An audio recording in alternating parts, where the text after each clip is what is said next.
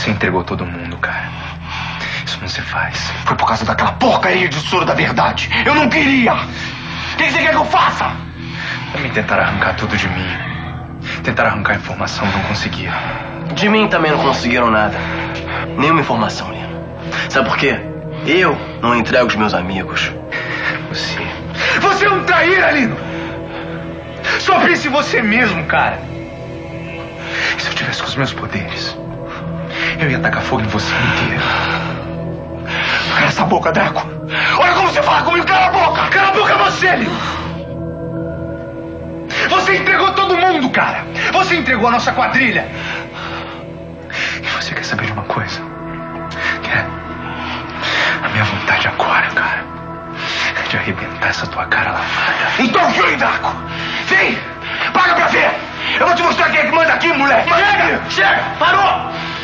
Será que vocês estão percebendo que é exatamente isso que o delegado Ferraz quer?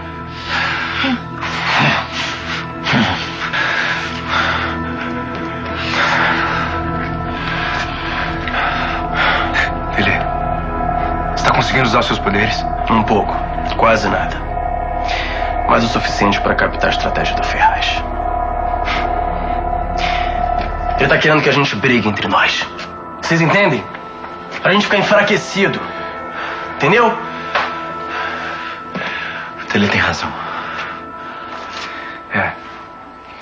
Vai ser muito mais difícil se a gente se separar. É óbvio que vai. A gente nunca vai conseguir fugir daqui se não for unido. Claro, você tá certo. É, Tele. Você tá certo. A gente não pode brigar. Foi mal, Nino. Esquece, Draco, esquece. A gente agora precisa se concentrar pra conseguir fugir desse lugar maldito. Só espero que os nossos parceiros da Liga Bandida consigam escapar do esconderijo. Antes que a DPCon chegue lá.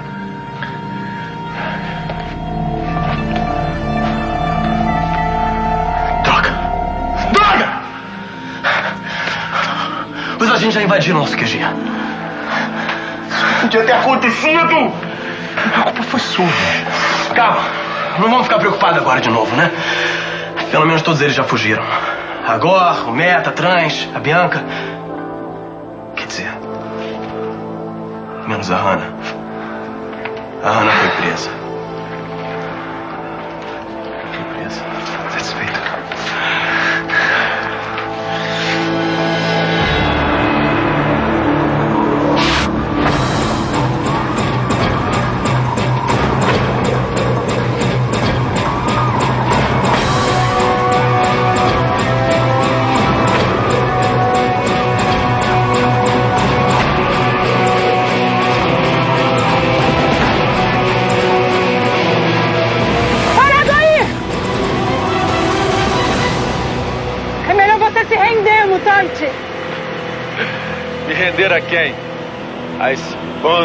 Humanos indefesos?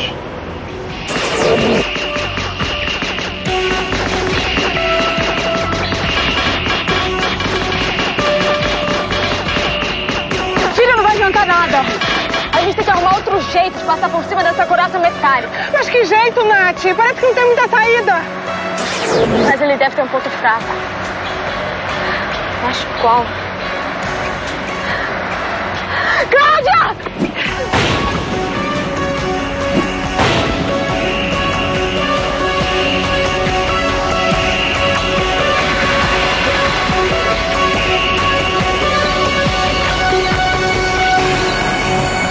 Não precisa se esconder, agente Nath.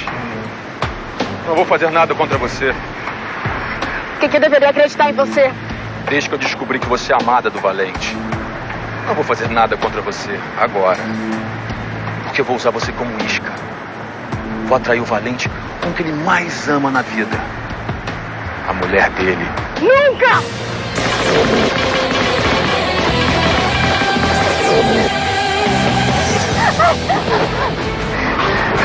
Não adianta resistir. Agora você é minha. Vocês não tinham nada que tá aqui. Parece que vocês esqueceram o que aconteceu da outra vez. É muito arriscado, mas a gente não podia deixar de vir. É, e agora a gente precisa se unir. É, mais arriscado seria se você tivesse vindo sem nenhum reforço. Nós podemos te ajudar, Valente. Nunca que a gente ia deixar você enfrentar o Ario sozinho. Ai, O que, que foi, Juno? Tá tudo bem? tô sentindo a energia do Orion. Eu tô bem perto. Meu Deus, que horror. O que, que foi? Fala! Ele já atacou várias pessoas na praia e derrotou a tropa que a DP comandou até lá. Peraí. A Nath estava nessa tropa. E ela tá lutando contra o Orion nesse exato momento. Só que as chances dela contra ele são mínimas. Meu Deus. A gente tem que chegar logo. Antes que seja tarde. Então vamos. Acelera, Valente. Vai, vai, vai, vai. Quando o Valente souber que você está em minhas mãos, vai vir atrás de mim. E dessa vez, eu não vou falhar em minha missão. O amor da sua vida vai ser morto. Você não vai me usar como isca pra matar o Valente. Isso eu não vou deixar. Você não tem como fugir de mim, pequena. Solta, me larga! Gosto da sua coragem, do seu jeito. Quero você pra mim, Nath. Nunca, nunca, nunca! Você não tem escolha. Vou te possuir. E depois vou te usar pra matar o Valente. Maldito sangue em cima de mim! Tem um sentimento estranho. Um desejo louco, ardente, incontrolável. Nunca senti nada igual. Ver você em meus braços se tornou algo mais importante, mais urgente do que matar seu namorado. Nath. Para! Para, me solta assim, sofá! Escuta uma coisa, você! Escuta uma coisa, você! Quando determino um alvo, eu não desisto antes de conseguir. E o meu alvo é te possuir.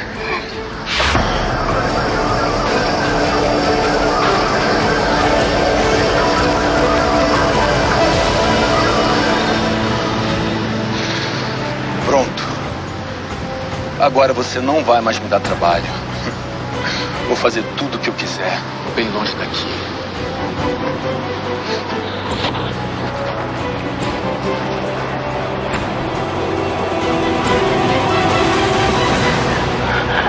Cadê a Nath? Meu Deus, cadê a Nath? Ai, meu Deus! Aquele monstro tá levando a minha amiga. Eu tenho que fazer alguma coisa.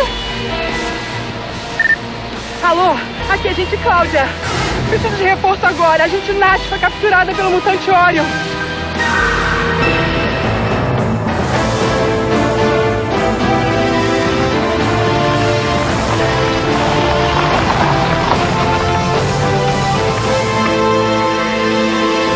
Pô, bem que tu falou mesmo, Cafurinho. Era pra ter trazido mais gente, vagabundo. Falei pra tu chamar o bocão, mano. Agora já era, nós que tamo. Não pode demorar muito aqui não, mas vamos nessa. Peguei. Ai, cara, tá maluco pesadão aí. Porra, cheio de testosterona. Cheio de aminoácidos, essas paradas todas que eles tomam. Bagulho de playboy, mano. Vai, Ai. pega aí. Isso.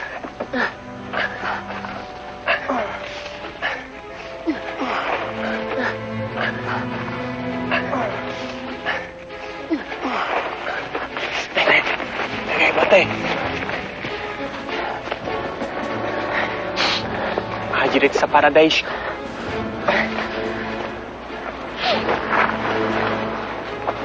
Aí, chefe, notou que o maluco ainda tá respirando, né?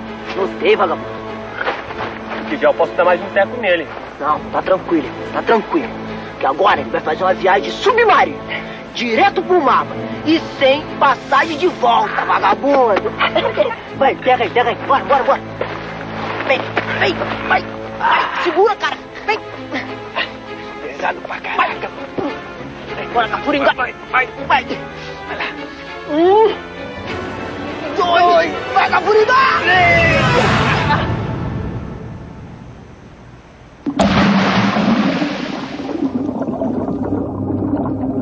Ah, moleque! Você é bicho pronto, vagabundo! moleque.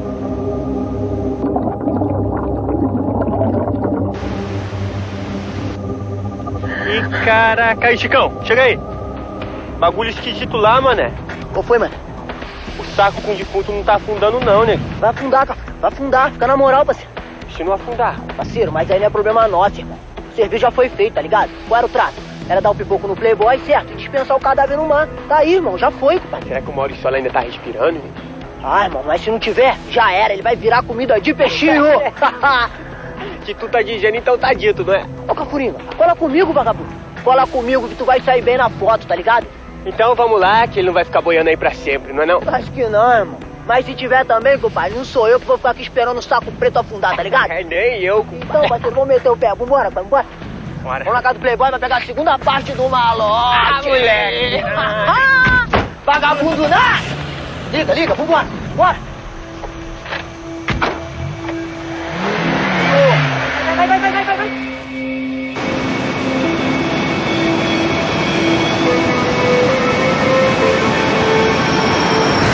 Meu Deus do céu. O que que fizeram com meu filho? Alguma coisa de grave aconteceu. Alô, Sofia? Eu Tony. Oi, seu Tonho, eu já ia ligar pro senhor, e aí? Alguma notícia? Não.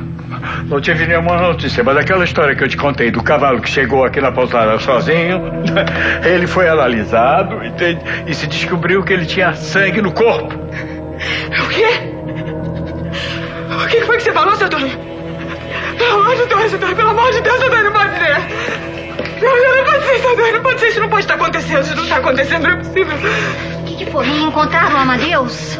Não, não acharam, é, não acharam. E o cavalo dele que voltou pro ar está manchado de sangue. Como é que pode isso, meu Deus do céu? Como é que pode? Eu organizei uma busca aqui no Aras, pelo caminho que o Amadeus costuma usar, a usar quando ele anda a cavalo. entende? E eu encontrei uma mancha de sangue no chão. O que, que eu faço? Não, Deus, não, pelo amor de Deus, não. Não me diz isso, seu Tonho, não fala isso pra mim, pelo amor de Deus. O que que tá acontecendo, meu Deus do céu? O que que tá acontecendo? Não sei. Não sei realmente o que aconteceu. Não sei. Mas acho que ele sofreu um atentado. Isso pode ter sido coisa do Ferraz, sabia? Não sei, não sei, não sei não. Eu só sei que eu cansei de avisar o meu filho para se afastar de você, Sofia. Mas ele não me ouviu e agora tá aí, acontece isso. O que, que eu faço, meu Deus? Eu quero meu filho de volta, Sofia! Calma, seu Tonho, calma, olha. Vamos ter esperança, vamos. Vamos acreditar que não foi nada grave. Ele pode ter só se machucado. Ele pode. Pode não ter sido tudo isso, seu Tonho. Eu espero mesmo, Sofia, eu espero. Porque se alguma coisa de grave acontecer com meu filho, eu não vou te perdoar nunca, Sofia, nunca!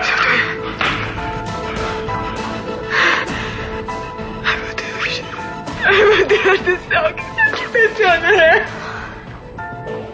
O que está acontecendo, meu Deus do céu? O que fizeram com meu amor? Será que tentaram matar o Amadeus? Será que foi isso? Tentaram matar o Amadeus? Calma, calma, ainda tem muita esperança. Olha, veja bem. Olha, o Amadeus é um cara esperto, ele pode ter fugido. Como fugido, Renata? Como? Como? Fugido pra onde, meu Deus do céu? Presta atenção, é. Acharam uma mancha enorme de sangue lá no ar. O cavalo dele voltou também manchado de sangue. Meu Deus do céu, eu sabia. Eu sabia que ia acontecer alguma coisa ruim com o Amadeus. Eu sabia, meu coração tava sentindo, meu coração me avisou. É. Mas eu tinha toda a razão. Isso é tudo culpa minha. É tudo culpa minha. Você tem certeza que essa pedra estava dentro da sua mochila? Certeza absoluta, Agatha. A pedra simplesmente sumiu. Alguém deve ter roubado. Mas você estava com a mochila o tempo todo, Não, não durante aquela confusão que o Pete aprontou pra cima de mim lá na sala de aula. Será que não foi ele que pegou? Não duvido nada, viu? É, gente, pode ser mesmo. O Pete, ele viu quando vocês entraram no portal mágico e foram pro centro da Terra. É verdade, ele até foi reclamar sobre isso com a mãe da Marli. Ele ficou super assustado quando viu a pedra brilhando e depois quando viu vocês sumindo no facho de luz. Gente, eu não acredito que ele viu. Tá vendo, gente? É por isso que ele sabe que vocês dois são mutantes. Ai, cara, que descuido meu. Isso não podia ter acontecido. Ninguém podia ter visto uma coisa dessas, muito menos o Pete. Será que ele ficou curioso sobre os poderes dessa tua pedra filosofal? Cara, o problema é que essa pedra é muito poderosa. Nas mãos de um cara violento como o Pete, pode acabar acontecendo uma tragédia. Peraí, gente, mas pode não ter sido o Pete também. Vai que a pedra caiu da mochila na hora da confusão. Eu vou dar uma geral aqui no colégio pra ver se eu acho a pedra.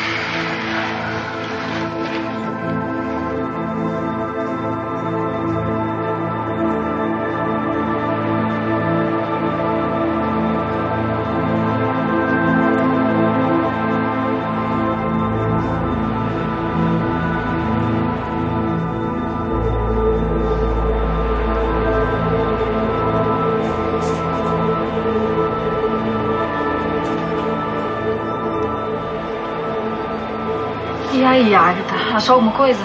Não, eu não consegui encontrar nada. Acho que essa pedra nem tá mais aqui no colégio, gente. Ai, meu Deus, isso não podia ter acontecido. Todo o conhecimento, toda a cultura de Agartha tá tudo contido naquela pedra. E sem ela eu não vou conseguir reconstruir o meu reino. Não, gente, os poderes da pedra eles podem revelar o passado, o futuro. E podem dar poderes extraordinários para quem possui a pedra. Imagina o perigo disso.